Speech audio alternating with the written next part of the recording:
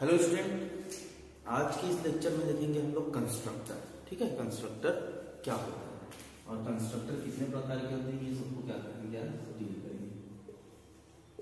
Constructor ठीक है? सी का मोस्ट इंपॉर्टेंट टॉपिक है। यहाँ से आपका क्वेश्चन बनता ही है। एक ना एक क्वेश्चन आपका ज़रूर आएगा। कोई भी टाइप्स को उठा के बारह नंबर का क्वेश्चन क्या कर देता है? यहाँ से पूछ तो सबसे पहले देखते हैं कंस्ट्रक्टर होता क्या है, ठीक है? तो कल हम देखे थे मतलब पिछले वीडियो में हम लोग क्लास और ऑब्जेक्ट देखे थे। तो क्लास और ऑब्जेक्ट के बाद हम क्या बनाना सीख रहे हैं? कंस्ट्रक्टर बनाना सीख रहे हैं। कंस्ट्रक्टर ये स्पेशल टाइप्स के मेंबर फ़ंक्शन होते हैं, ठीक है? क्लास के अंदर ही डेटा मेंबर और मेंबर फ़ंक्शन होता है, कल मैं आपको बताया था। और कंस्ट्रक्टर जो होता है, वो स्पेशल टाइप के मेंबर फ़ंक्शन होता है। क्यों स्पेशल टाइप के मेंबर फ़ंक्शन होता है? तो जो नाम क्लास का रहेगा, वही नाम किसका रहेगा? कंस्ट्रक्टर का। मतलब आप जिस नाम से क्लास बनाएँगे उसी नाम से आपको कंस्ट्रक्टर भी क्या करना पड़ता है? बनाना पड़ता है। ठीक है? जो अपने क्लास के नाम के जैसा ही होता है। जिस क्लास का कंस्ट्रक्टर बना हो, अगर उस क्लास का जब ऑब्जेक्ट जब बन जाता है तो वो ऑटोमेटिक कॉल हो जाता है। मतलब किसी भी क्लास का कंस्ट्रक्टर बना रहे हो तो उस कंस्ट्रक्टर कंस्ट्रक्टर बनेगा तो ऑब्जेक्ट बनता है। तो ऑब्जेक्ट बनेगा तो वो क्या हो जाता है? ऑटोमेटिक कॉल हो जाता है। उसको कॉल करने के लिए एक्सेस ऑपरेटर जो यूज़ करते थे ना, उसकी ज़रूरत नहीं है। वो ऑटोमेटिक क्या हो जाएगा? कॉल हो जाएगा। कंस्ट्रक्टर का कोई भी रिटर्न टाइप नहीं होता।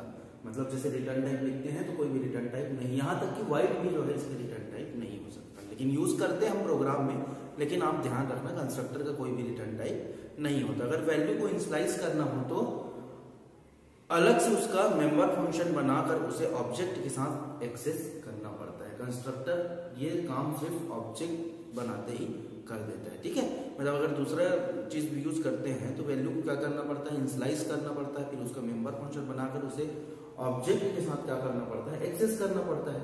तो कंस्ट्रक्टर में नहीं होता ऐसा। कंस्ट्रक्टर क्या करता है? जैसे ही ऑब्जेक्ट बनता है तो ऑटोमेटिक क्या कर देता है? उसको इंसलाइज कर देता है। कंस्ट्रक्टर के साथ वर्चुअल कीवर्ड का इस्तेमाल नहीं किया जाता। इस चीज़ को भी आप क्या करेंगे? याद रखेंगे ठीक है?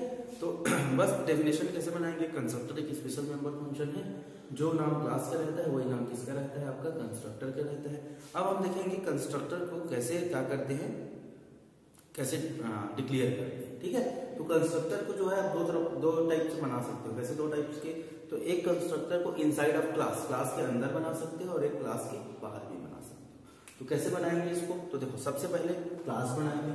जैसे मैं लिख दिया क्लास ए ठीक है? क्लास क्या है? ए क्लास की वर्ड है। क्लास का नाम क्या है आपका? ए है। उसके बाद क्या किया ओपन किया। ये प्राइवेट ठीक है? कॉलम लगेगा। प्राइवेट में जो जो चीज़ आपको लिखना है, आप लिख दी ठीक है? प्राइवेट के बाद क्या करेंगे हम? पब्लिक लगाएँगे। ये लगा दिए पब्लिक ठीक है? ये क्या हो गया आपका? पब्लिक हो गया। अब पब्लिक में हम क्या करेंगे? यहाँ पे आप क्या करेंगे? पब्लिक लिखने के बाद कंस्ट्रक्टर बनाएँगे। तो क्लास का नाम क्या था? ए तो हम ये बना दिए ये हमारा क्या है? कंस्ट्रक्टर फ़ंक्शन तो कंस्ट्रक्टर क्या है? स्पेशल मेंबर फ़ंक्शन है। मेंबर फ़ंक्शन है ना? तो ये क्लास का नाम नहीं है, ये कंस्ट्रक्टर का नाम है। तो क्लास के नाम के जैसे ही क्या रहेगा आपका? कंस्ट्रक्टर का नाम रहेगा। ठीक है? उसके बाद क्या कर दो इसको? ओपन कर दो। ओपन करने के बाद ये आपका क्या हो जाएगा यहाँ पे? क्लोज यहाँ पे कंस्ट्रक्टर का क्या रहेगा? बॉडी कंस्ट्रक्टर ठीक है, ये हमारा क्या है? ये कंस्ट्रक्टर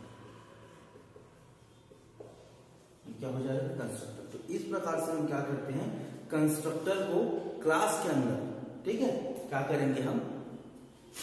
क्लास के अंदर क्या करते हैं? क्लास के अंदर, इस प्रकार से करते हैं। ठीक है? अब इसी को हम क्लास के बाहर भी कर सकते हैं। क्लास के बाहर कैसे करेंगे तो देखो क्लास के बाहर करने के लिए देखो, एक इनसाइड ऑफ़ क्लास हो गया। अब हम क्या करेंगे इसको? आउटसाइड ऑफ़ क्लास करेंगे। तो आउटसाइड ऑफ़ क्लास कैसे करोगे आप? तो सबसे पहले आप क्या बनाओ? क्लास बनाओ। ये बना दिया मैं क्लास क्लास का नाम क्या? है ए ओपन करो। क्या दो? प्राइवेट ठीक है? फिर आपको जो देना वो देंगे। उसके बाद क्या करेंगे? पब्लिक ये हो गया। उसके बाद ये पब्लिक लिखने के बाद। कंस्ट्रक्टर का डिक्लेरेशन हो रहा है हम क्या करेंगे? पब्लिक लिखने के बाद कंस्ट्रक्टर को डिक्लेयर करेंगे। हमारा ये क्या है? कंस्ट्रक्टर जो है वो क्या हो गया? डिक्लेयर कंस्ट्रक्टर डिक्लेरेशन समझ सकते हो। ठीक है कंस्ट्रक्टर को क्या कर डिक्लेयर कर लिए अब क्या करेंगे? यहाँ आपका क्लास जो क्लोज हो क्लास क्या हो गया? क्लोज हो गया। उसके बाद देखो क्लास कंस्ट्रक्टर का जो डेफिनेशन है, वो क्लास के बाहर देना पड़ेगा। तो हम क्या करेंगे? यहाँ पे ए क्लास है, ठीक है? और यहाँ पे लिख देते हैं। ये कौन सा ऑपरेटर है? तो स्कोप रेजोल्यूशन है कौन सा ऑपरेटर है? इसकी स्कोप रिजोल्यूशन ऑपरेटर और स्कोप रिजोल्यूशन ऑपरेटर क्यों लगाते हैं? तो कोई भी, जैसे हम कंस्ट्रक्टर बना रहे हैं तो कंस्ट्रक्टर को हमको क्लास के बाहर क्या करना है डिफाइन करना है तो हम वहाँ पे क्या लगाएँगे? वहाँ पे क्या लगाते हैं? स्कोप लगाते हैं। ठीक है, क्या लगाएँगे? स्कोप कंस्ट्रक्टर बॉडी ठीक है, और ये क्या हो जाएगा? क्लोज अब दोनों में अंतर क्या है? तो ये क्लास के अंदर ही उसको हम क्या कर दिए? डिक्लेयर कर दिए। और इसमें क्या कर रहे हैं? क्लास के बाहर कर रहे हैं। ठीक है? दोनों में ये क्या है? आपका बेसिक अंतर हो गया। तो कंस्ट्रक्टर को आप दो प्रकार से बना सकते हो। एक क्लास के अंदर और एक क्लास के बाहर बना सकते हो। क्लास जहाँ पे क्लोज होता है, वहाँ पे क्या लगता है आपका? सेमी कॉलम लगता है। यहाँ पे क्लास क्लोज हो रहा है, लेकिन हम क्लास का डेफिनेशन जो है वो क्या कर रहे हैं? हैं। ठीक है? कंस्ट्रक्टर का डेफिनेशन तो ये क्या हो गया आपका? कंस्ट्रक्टर डेफिनेशन ठीक तो इस प्रकार से हम कंस्ट्रक्टर यह आपका एग्जांपल किसका? कंस्ट्रक्टर का। कंस्ट्रक्टर का एक फुल एग्जांपल देखो कैसे बनता है।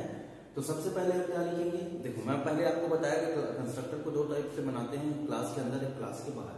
तो कोई भी एक एग्ज़ाम्पल को उठाओ और आप क्या कर सकते हो? कंस्ट्रक्टर का प्रोग्राम बना सकते हो। तो देखो, सबसे पहले hash input iostream dot h लिख दिए हेडर फ़ाइल ठीक है? उसके बाद हम क्लास बनाएँगे। तो क्लास में क्या लगता है? क्लास में क्लास कीवर्ड लिखते हैं, ये लिख दिए क्लास कीवर्ड उसके बाद क्लास का नाम। क्लास का नाम यहाँ पे क्या ले रहे हैं? एग्ज़ाम्पल फिर हम क्या किए? ओपन किए। फिर एक्सेस स्पेसिफायर दिए हैं। एक्सेस स्पेसिफायर जो है, हम क्या दे दिए हैं? पब्लिक दे दिए ठीक है? प्राइवेट लेने की ज़रूरत नहीं है। डायरेक्ट क्या दे दिए पब्लिक अब पब्लिक के अंदर क्या लिखते हैं? आप मेंबर फ़ंक्शन लिखते हैं तो लेकिन यहाँ पे जो क्लास का नाम क्या है? एग्ज़ाम्पल यहाँ पे आपका बन जाएगा कंस्ट्रक्टर यहाँ पे हम क्या बना दिए कंस्ट्रक्टर एग्ज़ाम्पल फ़ंक्शन ठीक है? तो ये क्या है हमारा? ये कंस्ट्रक्टर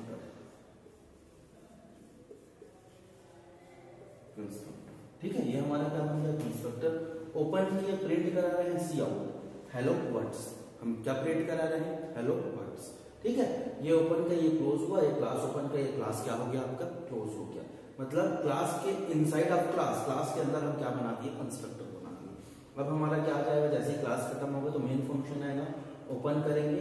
एग्ज़ाम्पल एग्ज़ाम्पल किसका नाम है? क्लास का। ठीक है? ये जो है ऑब्जेक्ट बन गया। ऑब्जेक्ट क्रिएट कर दिया हो ठीक है? फिर क्या कर देगा?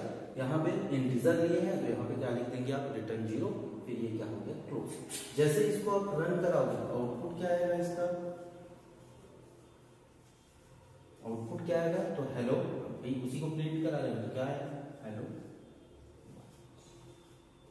ठीक है, ये आपको क्या मिल जाएगा? आउटपुट, जो आप यहाँ पे लिखोगे, वही आपका क्या हो जाएगा? आउटपुट.